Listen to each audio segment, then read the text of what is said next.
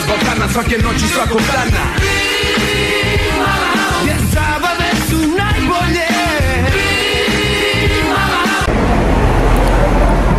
I'm baby big daddy. Mama, big mama, ha? I dobro nam došli u novi video. Evo nas negdje u B fazi. B fazi. Ulaz B. Kerma, kerma, ovaj, izgradnja, ovaj, B grada, fazi u Novom pazaru. izgradnja, ovaj, grada i ostalo. Da. Uglavnom, kao što znate, mi smo u Novom pazaru i evo, izlazimo prva naša izlazna noć. Idemo da se nađemo sa mojom dragom Anelom. A, se, dogovorili smo se da se nađemo na šetalištu. Tako da, to je današnji styling. Šarena sam, a? Kreator, svi. Lijega. Ja se ozbiljno. Može. Ovdje. I idemo lagano. Paže odavde. Da, da. Paže ovdje. Čekaj, gdje idemo mi? Lijevo. Lijevo, lijevo. Mi smo do to došli vidjeli ovu zgradu našu. Pa mi smo i ovaj nam je apartman super, znači 350 metara od šetališta. Znači tu nam je vrh, auto nam fino smješteno, boli nas briga. To ti je to. Evo ima pekara ovdje, svaki, svačan, evo. Se ovdje mantije. Su ovdje matije, ne možemo večeras da kreneš po mantijama.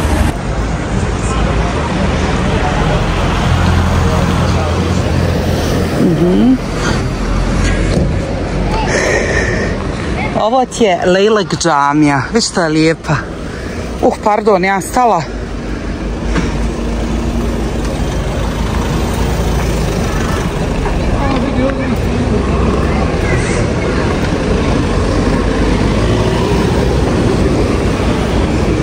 Baš je lijepo.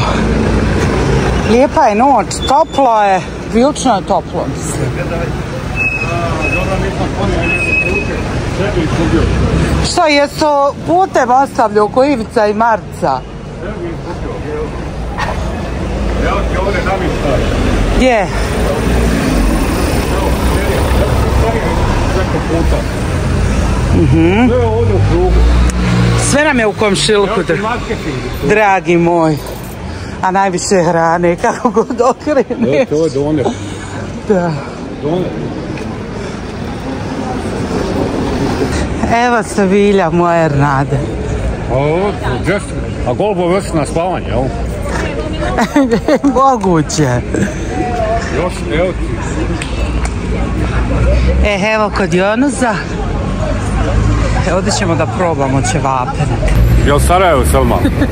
Vidiš, Jel si morali smo, morali smo kod Sebilja. Ja sam bila ovdje kao mala, mislim nije baš kao mala, više kao tinejdžerka i sjećam se ovog a, Sebilja, ali sam dolazila nekako u Novom pazaru smo bili tako u prolazu.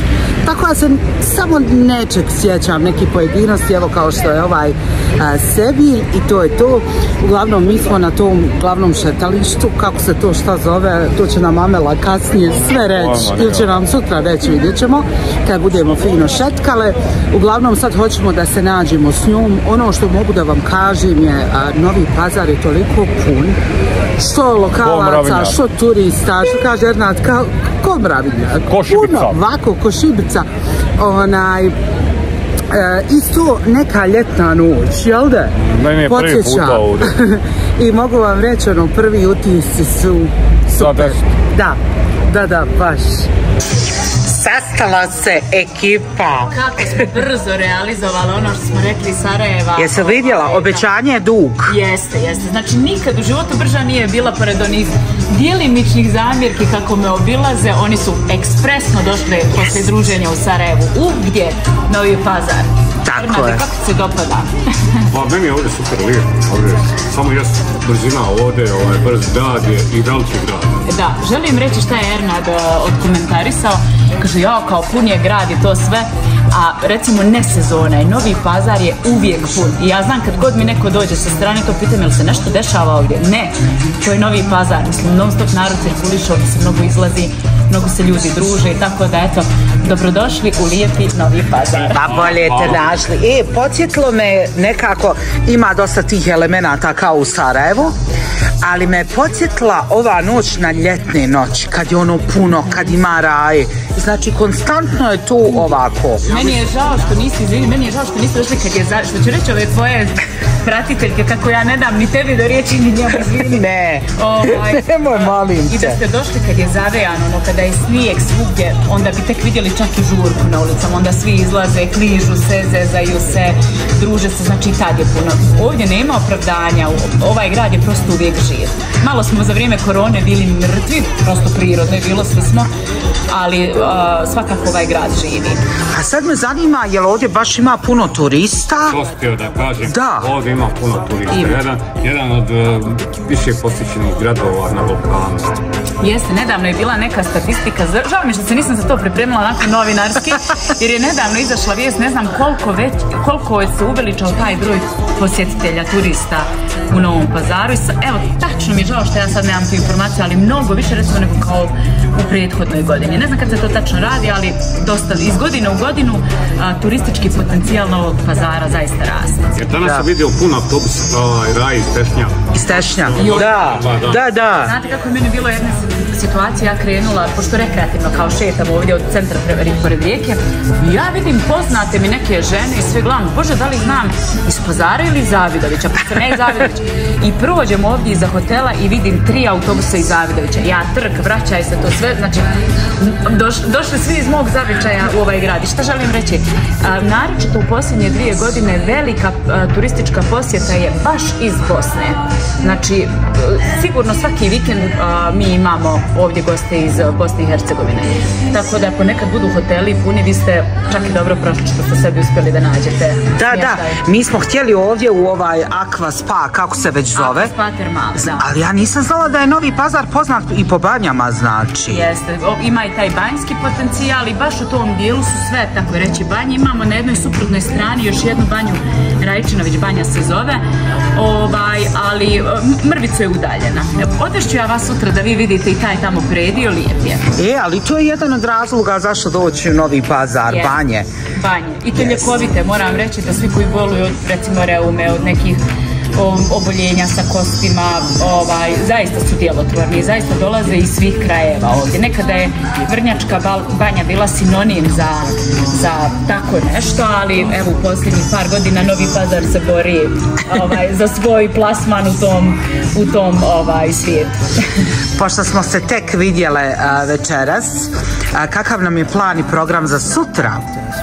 Sutra moja porodica iz A1, kad kažem moja porodica to je moj kolektiv, vodimo vas na jedan doručak e, i da prosto upoznate i taj dio moje ekipe, da upoznate prostorije A1 gdje će Selma, ako Bog da, biti gost u našem podcastu Mahala, to je bukvalno jedan ženski podcast. Za to vrijeme će se malo družiti tamo u, u, u, ne u studiju, nego u režiji, u realizaciji.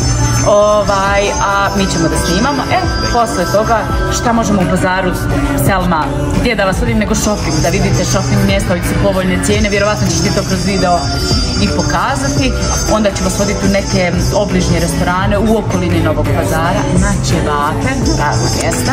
To moramo malo da degustiramo. Znači, nas zanima ova lokalna hrana, to sam ti već rekla, ćevapi i mantije. Mantija, a sa sirom? da. Mantije. A kako ste vi što se tiče slatkiša? Ima li nešto ovdje što je tradicionalno, što treba isprobati? Pa, ovaj, kad kažem tradicionalno, to je manje više uglavnom slično između nas. Mi smo slične kulture, slične tradicije, tako da se ne razlikuju ti tradicionalni kolači nego što su u Bosni. Možda se u stvari razlikuje stil pravljenja. Eto, možemo, ukusi su možda samo različiti, ali baklave, tulumbe, ovdje zovu dudovi za hurmašice, eto to da znaš ovdje. Ja, je se čuo sad ovo? Jeste, jeste, ali ja uvijek govorim hurmašica, navikla sam. Ovaj, dudovi, mada ovdje ima recimo tri leće, to je do duše albanski specijalitet, ali ovdje ga jako lijepo prave i baš se nalazim u restoranu gdje imaju dobru ponudu slatkiša, tako da posle večere, zašto da ne, da nešto slatko probamo. Danas ne jedemo ništa tradicionalno, ali ćemo onda fino da zaredamo to se. Da li ima, li poslije ove slatki ćevapi? Pa, neka, neka, ako neko iz Novog pazara bude ovo gledao, možda da uvrsti u ponudu tako neki specijalni ovaj, čokoladni ćevap. To ne bi bilo loše, da. Nismo više same, draga Amela. Naravno, ovaj, stvarno te Novi Pazar voli što si večeras pokazala. Volim i ja Novi Pazar. E pa drago me, bez sve šale, ovdje su osobe koje su željele da je upoznaju i ja sam ponosna što su te osobe dio mog života i ja to vole Selmu, pa evo da ih predstavimo. A boga meni je tako drago da sam njih upoznala isto, baš smo ono, Da. kliknule odmah na prvu, Pa to je, znaš kako ovdje kažu, duh je se podudarila. Ja, možda to tebi nije poznat termin, ali ovdje kad se neko jako dobro naklopi, uklopi, kažu duh je se podudarila. Tako da u, u novopazarskom stilu, mi ćemo baš to tako reći, nama su se ovdje večeras duh je podudarila. Yes. je- A kako se ono tulumba kaže, sad sam zaboravila. Nije tulumba, nego hurmašica. Pogađajte dva put. Dud. Jest, jest. E, draga Amela, kad kreneš sad Sarajevo fino kombi, Ja, pa mora. povuci i sve. Pa možda moj muž da čuje ovu poruku, pa možda da kupi neki kombi. Dosta- to loše Pa ja, pa i treba tako, stvarno. To je može, to. može. Koliko smo puta mi je ovo Sad htjela reći, ovo 16. put. Ja sam sve na pamet naučila šta trebam da vam... Mi smo šta natjerali goste da na pamet pričaju, jer, jer ovo stvarno ponavljamo i ne šalimo se. Znači ponavljamo, ja mislim, treći put. Prvo nam memorija nešto, pa smo onda nešto pogrešno snimile. Ja, okrenuo se po Naopako. Uglavnom, šta želimo reći? Družimo se, Selma je kao što ste prethodno čuli u Novom pazaru. A, trudim se da budem dobar domaćin i jako sam srećna što a, postoje ljudi koji ovdje jako vole Selmu, cijene i stvarno a, toliko su željeli da je upoznaju da ja sam prosto morala njima da ispunim tu želju i evo u tom slučaju a, ovdje nismo nas dvije same. Da. Su i djevojke koje žele, koje su stvari druže trenutno sa nama. Že, mislim, A kod djevojčice izgledaju, Sve smo, sve e. smo kod djevojčice, pa tako. Prvo da te pitam Selma, kako se osjećaš sa svima nama? Divno, divno. Prvo da ti kažem da si divna domaćica. Ja, hvala. Da, baš se ono osjećam super i onda ova ekipa je stigla, znate kakve su to dame. Odmah vam, i odmah vam uđu pod koš. Da, ali- Kliknule smo na prvu. Da. Da. O, Generalno, o, moram da kažem da mene samo takve osobe okružuju. Tako da tu je naša draga Najla.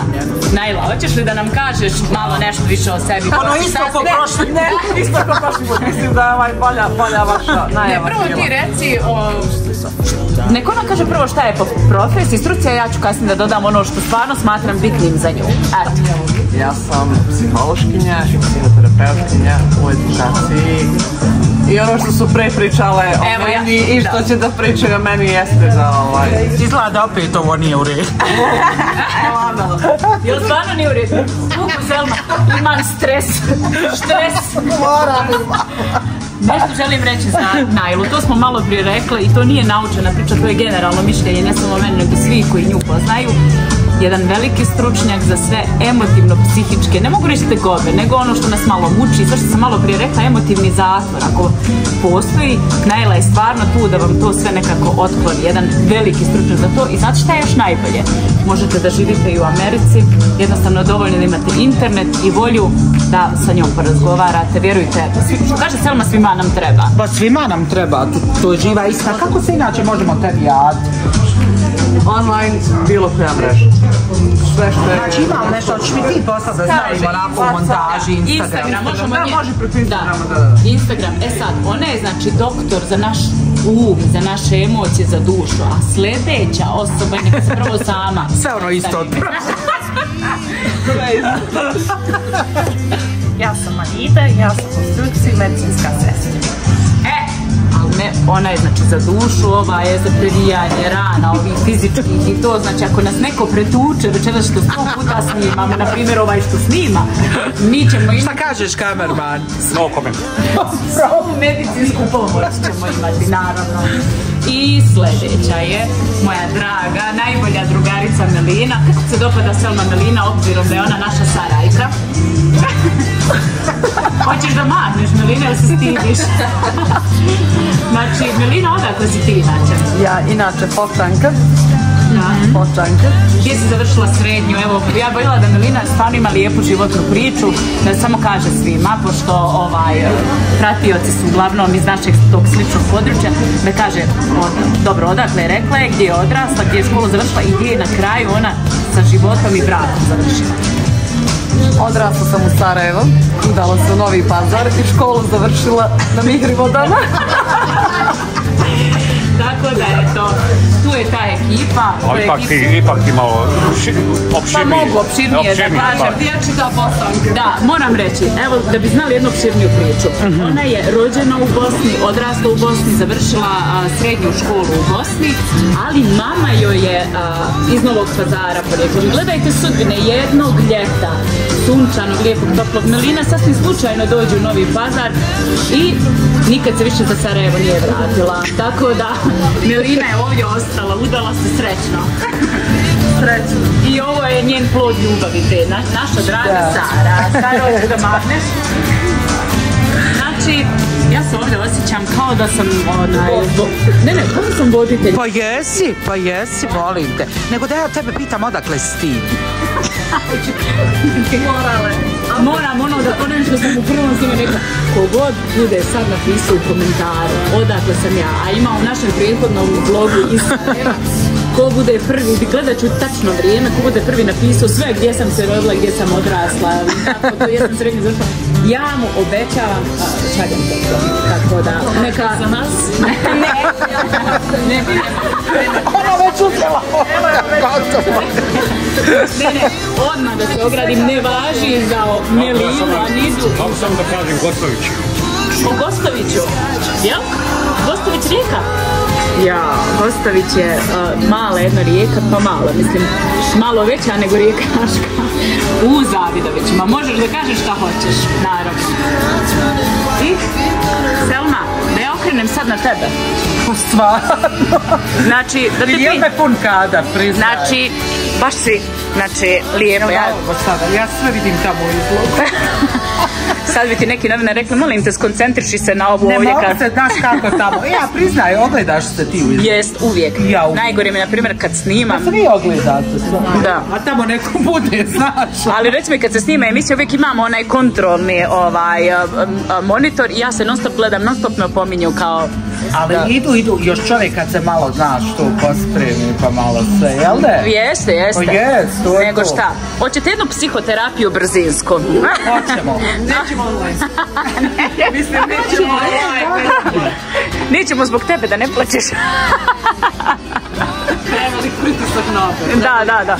Jeste, jeste. Selma, znači, I uživam, uživam u Novom pazaru. baš mi je drago. Jel ima nešto a, u Novom pazaru a, da bi onako namjenski voljela da vidiš, da probaš, da nešto od toga? Ja sam ti rekla šta mi je želja probat od hrane, to Dobro. stvarno hoću da probam, a ostalo me ti vodi, Baš. Dogo. Mantije. Saro, jesu mantije sa sirom ili sa mesom? Stvarno, a burek? Jel burek samo s mesom ili je i sa sirom? Spremati girat, očigledno. Nek ti mama kaže, nek ti mama kaže. E, to je to. Jedina stvar koja se nije promijenila dolaskom u ove krajeve. E, a znate li sve da pravite mantije? Znači, imaš dva načina. Imaš one stare pazarske gdje su na hamajlice, a imaš i one brzinske gdje su kopite, pa se se odlomi i A nisam znala ovaj detalj. Pa eto, ona ti je otkrila tajnu brzi. Dok se ne...